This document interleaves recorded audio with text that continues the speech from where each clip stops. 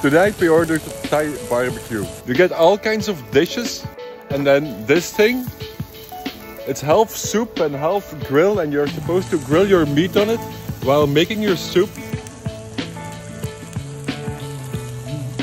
It smells so good.